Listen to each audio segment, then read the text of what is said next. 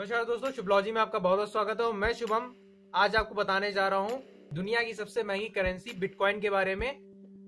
आपने इन दिनों बहुत ज़्यादा सुना होगा कि बिटकॉइन में इन्वेस्ट कर देते हैं, पैसे बहुत जल्दी बन जाएँगे, बहुत जल्दी आपको इसमें रिटर्न मिल जाएँगे पैसों के, कई गुना में रिटर्न्स मिल जाएँगे। तो दोस्तों, आज मैं हम इन्हीं टॉपिक को क्लियर करेंगे कि क्या है बिटकॉइन, किसने बनाया था, क्या इसमें पैसे लगाना सिक्योर है या नहीं, और बिटकॉइन माइनिंग क्या होती है। दोस्तों, ये टॉपिक्स मैं कुछ शॉर्ट में, साथ ही साथ कुछ सरल एग्ज़ाम्पल से आपको समझाने की कोशिश करूँगा।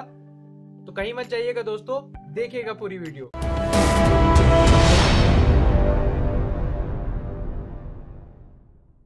दोस्तों, सबसे पहला क्वेश्चन जो होता है, वो ये होता है कि बिटकॉइन है क्या? दोस्तों बिटकॉइन एक डिसेंट्रलाइज क्रिप्टो करेंसी है, जो कि डिजिटल वर्ल्ड के लिए पूरी तरह से बनाई गई थी। इसमें किसी भी तरह के बैंक की या फिर थर्ड पार्टी एजेंसी की ज़रूरत नहीं होती ट्रांजेक्शन के लिए।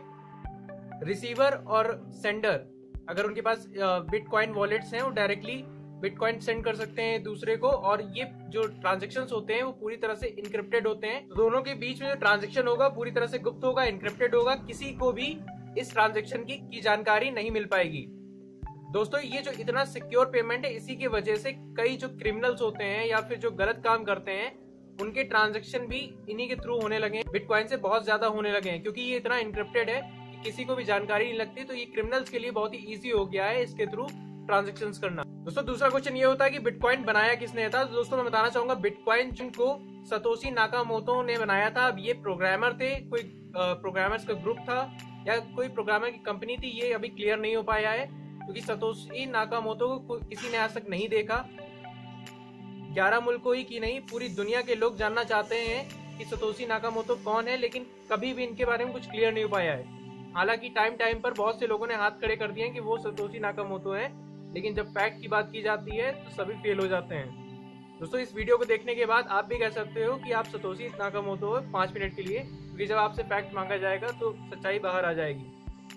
दोस्तों सतोशी नाकामोतो ने 3 जनवरी 2009 को ये बिटकॉइन स्टार्ट किया था। बिटकॉइन एक ओपन सोर्स सॉफ्टवेयर है, जिस तरह से आप फ़िज़िकल नोटों का यूज़ करते हो किसी भी ट्रांजेक्शन को करने में उसी तरह ये डिजिटल करेंसी है और पीयर टू पीयर तकनीक पे पीयर टू पीयर तकनीक पे वर्क करती है, यानी कि कंप्यूटर एक कंप्यूटर से दूसरे कंप्यूटर या किसी एक मोबाइल से दूसरे मोबाइल पर इसके थ्रू ट्रांजेक्शन किए जा सकते हैं। दोस्तों सतोशी नाकामोतो ने बिना किसी थर्ड पार्टी एजेंसी या फिर किसी बैंक के बिना ट्रांजेक्शन हो सके, इसलिए ये बिटकॉइन बनाया था। अब उनकी सोच शायद अच्छी भी हो सकती है, लेकिन ये बात सच है कि इसका सबसे ज़्यादा यूज़ क्रिमिनल्स कर रहे हैं आज के टाइम पर। दोस्तों, सबसे पहले बिटकॉइन जो यूज़ किया गया था, वो एक पिज्जा के लिए यूज़ किया गया था। ये जो सबसे पहले जो ट्रांजेक्शन हुआ था, वो 22 मई 2010 को एक पिज्जा के लिए दस हज़ार बिटकॉइंस दिए गए थे। दोस्तों, मैं बताना चाहूँगा, जब उस टाइम जब ये ट्रांजेक्शन हुआ था, ये किसने किया था, ये बात नहीं पता चल पाई है, क्योंकि दोस्तों, मैंने बता चुका हूँ कि ये जो ट्रांजेक्शन होते हैं, पूरी तरह इंक्रप्टेड होते हैं। तो ये किसने किया था, ये तो नहीं पता है, लेकिन पिज्जा के लिए किया गया था। दोस्तों, जब ये पिज्जा का ट्रांजेक्शन हुआ था, उस टाइम पे बिटकॉइन की कीमत पाँच रुपए से भी कम थी। यानी कि दस सेंट से भी कम थी उस टाइम पर इस एक बिटकॉइन की कीमत। दोस्तों, अब तीसरा क्वेश्चन ये है कि बिटकॉइन की माइनिंग कैसे की जाती है, या फिर ये डिजिटल मार्केट में कैसे आते हैं? इनका सर्कुलेशन कैसे होता है डिजिटल मार्केट में? तो दोस्तों, मैं बताना चाहूँगा, जब भी कोई ट्रांजेक्शन करता है तो ब्लॉकचेन में मौजूद हज़ारों लोग अपने सुपर कंप्यूटर से हर ट्रांजेक्शन पर नज़र रखते हैं। और दोस्तों, उन हज़ारों लोगों में से कोई भी, जो कोई भी इस ट्रांजेक्शन को वेरीफाइड कर देता है, यानी कि वेरीफाई कर देता है, उसको इनाम के रूप में कुछ बिटकॉइंस दे दिए जाते हैं। दोस्तों, ये जो वेरिफिकेशन होता है ब्लॉकचेन में, ये एक्चुअल में एक मैथमेटिकल पजल होती है, जो कि थोड़ी सी मुश्किल होती है, और हज़ारों लोगों में से जो सबसे पहले इस मैथमेटिकल पजल को सॉल्व कर देता है, उसी को ये इनाम दिया जाता है, कुछ बिटकॉइंस इनाम के रूप में दे दिए जाते हैं। दोस्तों, आसान भाषा में अगर हम कोई एग्ज़ाम्पल लें तो मान लीजिए मैं हूँ और आप हैं, और हम दोनों ब्लॉकचेन बैठे, उन्हीं लोगों में से कोई एक है जो अपने पावरफुल कंप्यूटर के साथ बैठे हुए हैं। और मान लीजिए मिस्टर एक्स और वाई एक दूसरे से ट्रांजेक्ट कर रहे हैं बिटकॉइंस को तो हम दोनों में से जिसने भी सबसे पहले मैथमेटिकल पजल को सॉल्व कर लिया, मान लीजिए मैंने कर लिया या आपने मान लीजिए कर लिया तो आपको इनाम के रूप में कुछ बिटकॉइंस मिल जाएँगे। दोस्तों बिटकॉइंस जब किसी को मिल जाते हैं, तभी ये डिजिटल मार्केट में आ जाते हैं। क्योंकि दोस्तों, अगर मुझे इनाम के रूप में अगर बिटकॉइंस मिले तो मैं अपने पास रखे तो नहीं रहूँगा, उसे या तो सेल कर दूँगा पैसे कमाने के लिए, या फिर कुछ परचेज करने के लिए उसे यूज़ कर लूँगा। दोस्तों, इसी प्रोसेस को कहते हैं बिटकॉइन की माइनिंग दोस्तों, अगला क्वेश्चन ये है कि हम बिटकॉइन में इन्वेस्टमेंट करें या ना करें, क्या ये रिस्क फ्री है या नहीं? तो दोस्तों, मैं बताना चाहूँगा कि बिटकॉइन को किस, कोई भी किसी भी देश की एजेंसी या फिर गवर्नमेंट रेगुलेट नहीं करती है। जैसे हमारे देश में जो रुपए चलता है INR जो चलता है, उसे हमारी गवर्नमेंट और आरबीआई रेगुलेट आरबीआई रेगुलेट करती है। लेकिन बिटकॉइन को कोई भी वर्ल्ड की एजेंसी या फिर कोई भी गवर्नमेंट रेगुलेट नहीं करती है। तो सबसे बड़ा रिस्क फैक्टर तो यही है दोस्तों।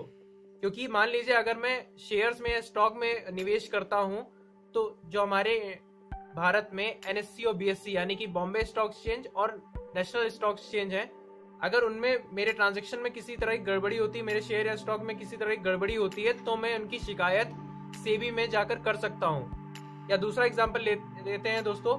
अगर मैं किसी बैंक से ट्रांजेक्शन करता हूँ और उसमें कुछ गड़बड़ी आती है तो मैं इसकी शिकायत बैंक में कर सकता हूँ। अपने पास के पुलिस स्टेशन में कर सकता हूँ और इनकी शिकायत कोर्ट में भी कर सकता हूँ। लेकिन दोस्तों अगर बिटकॉइन के मामले में आपकी आपके ट्रांजेक्शन में किसी तरह की गड़बड़ी हो गई या फिर आपके इन्वेस्टमेंट में किसी तरह की गड़बड़ी हो गई तो आप किसी से भी शिकायत नहीं कर सकते हो जो बिटकॉइन की सबसे बड़ी परेशानी है। दोस्तों, दूसरी जो इसकी कमी है, वो है इसकी वैल्यू का स्टेबलाइज ना होना। दोस्तों, कुछ ही महीने पहले, आज ही अगर, आज की मैं अगर बात करूँ तो आज एक बिटकॉइन की कीमत है बारह लाख चालीस हज़ार रुपए के लगभग है। और अगर मैं कुछ महीने पहले की बात करूँ तो कुछ महीने पहले तक इसकी जो वैल्यू थी, वो ग्यारह लाख रुपए थी। और उसी दिन, यानी कि मैंने जब देखा था, उसी दिन, नौ घंटे बाद, इसकी वैल्यू घटकर नौ हज़ार डॉलर के आसपास आ गई थी। यानी कि बिल्कुल भी, दोस्तों, ये स्टेबल नहीं है, क्योंकि गवर्नमेंट कोई गवर्नमेंट इसे रेगुलेट नहीं करती, कोई एजेंसी इसे रेगुलेट नहीं करती तो ये इसका जो वैल्यू है बहुत ही ज़्यादा फ्लंक्चुअल है डायरेक्टली ये स्टेबिलिटी वैल्यू में नहीं पाई जाती। तो अगर दोस्तों आपने इन्वेस्टमेंट कर दिया है, दस हज़ार डॉलर और कल को घट के वो आ जाते हैं पाँच हज़ार डॉलर पे तो बहुत बड़ा आपको लॉस का सामना उठाना पड़ सकता है। दोस्तों, मैं बताना चाहूँगा कि बहुत से देशों में ये बैन है, बांग्लादेश और भी यूरोप के कई देश हैं जहाँ पर ये बैन है। हमारे इंडिया में भी इसे लीगली नहीं माना गया है। गवर्नमेंट ना तो ये कहती है कि आप इसमें इन्वेस्टमेंट करिए और ना ही ये कहती है कि इन्वेस्टमेंट ना करिए। मतलब उसने लीगली नहीं माना है, आपका मन करता है तो कर लीजिए, नहीं करता तो मत कीजिए, लेकिन लीगली नहीं है इंडिया के अंदर ये। और दोस्तों, मैंने ऐसे भी बहुत सारी न्यूज़ आ रही है कि आरबीआई बहुत ही जल्दी से टैक्सेबल करने वाला है, यानी कि अगर रिटर्न जो आपको मिल रहा है बिटकॉइन से, उसमें वो टैक्स लगा देगा, क्योंकि बिटकॉइन से बहुत से लोग जो अपना काला धन ब्लैक मनी है, वो इन्वेस्ट कर रहे थे। तो आरबीआई बहुत ही जल्दी इससे टैक्सेबल भी कर देगा, इसके रिटर्न को। तो दोस्तों, ये थी कुछ वजहें जिनके वजह से मैं कहूँगा कि आप बिटकॉइन में इन्वेस्ट ना करें। लेकिन हर सिक्के के दो पहलू होते हैं, इसी तरह इसकी कुछ, अगर आप इन्वेस्टमेंट के तौर पे देखो, यानी कि आप एक रिस्क रिस्क तो देखिए दोस्तों बहुत है इसमें, क्योंकि ये फ्यूचर इकोनॉमी है और फ्यूचर में ही खत्म हो जाएगी। क्योंकि दोस्तों, भविष्य में कितने डॉलर छपेंगे? इसको कोई भी अनुमान नहीं लगा सकता कोई भी नहीं बता सकता कि भविष्य में कितने डॉलर्स प्रिंट होंगे। लेकिन ये पता है बिटकॉइन के बारे में कि 125 साल बाद बिटकॉइंस की संख्या सीमित हो जाएगी यानी कि उसके बाद ये बिटकॉइंस नहीं बनेंगे और इनकी टोटल वैल्यू है लगभग 21 मिलियन यानी कि दो करोड़ दस लाख बिटकॉइंस ही रहेंगे पूरे वर्ल्ड में। क्योंकि दोस्तों इनकी संख्या सीमित है इसी वजह से ये जो बिटकॉइंस हैं इनकी वैल्यू हमेशा बढ़, अब बढ़ती जा रही है। दोस्तों एग्ज़ाम्पल के तौर पर अगर सोना बहुत ज़्यादा हो और लोग कम हो तो सोना बहुत ही सस्ते में बिकेगा। लेकिन अगर लोग ज़्यादा हैं और सोना बहुत कम है तो वही सोने की कीमत बहुत ज़्यादा बढ़ जाएगी। सेम बिटकॉइन के साथ भी हो रहा है। बिटकॉइन की क्योंकि संख्या बहुत ही सीमित है, बहुत ही कम है, इसी वजह से बिटकॉइन की जो वैल्यू है वो लगातार बढ़ती जा रही है। दोस्तों, मैं बताना चाहूँगा, जब बिटकॉइन स्टार्ट हुआ था, जैसे कि मैंने अपने वीडियो के पहले शुरुआती में बताया था कि तब बिटकॉइन की कीमत पाँच रुपए से भी कम थी। अगर मैं दोस्तों 2010 की बात ना करूँ, अभी से कुछ छह साल पहले की बात करूँ तो छह साल पहले तक बिटकॉइन की जो वैल्यू थी वो सिर्फ़ छह रुपए थी। लेकिन दोस्तों, आज ये बढ़कर बारह लाख चालीस हज़ार आज के टाइम में बता रहा हूँ, बारह लाख चालीस हज़ार तक पहुँच गई है। यानी कि दोस्तों, समझिए उस टाइम पे सौ रुपए की जिसने भी बिटकॉइंस खरीदे होंगे, आज उनकी वैल्यू लगभग ढाई करोड़ के आसपास की होगी। तो आप देख सकते हो कितना बड़ा रिटर्न है, और इसी लालच में बहुत से लोग इसमें इन्वेस्ट भी करना चाहते हैं। एट द लास्ट मैं बात करूँगा कि आप बिटकॉइन के थ्रू कैसे पैसे कमा सकते हो? तो बिटकॉइन के थ्रू दो तरीकों से पैसे कमाए जा सकते हैं। एक माइनिंग करके, यानी कि आप माइनर बन सकते हो। आपके पास एक पावरफुल कंप्यूटर होना चाहिए, उसके थ्रू आप पैसे कमा सकते हो।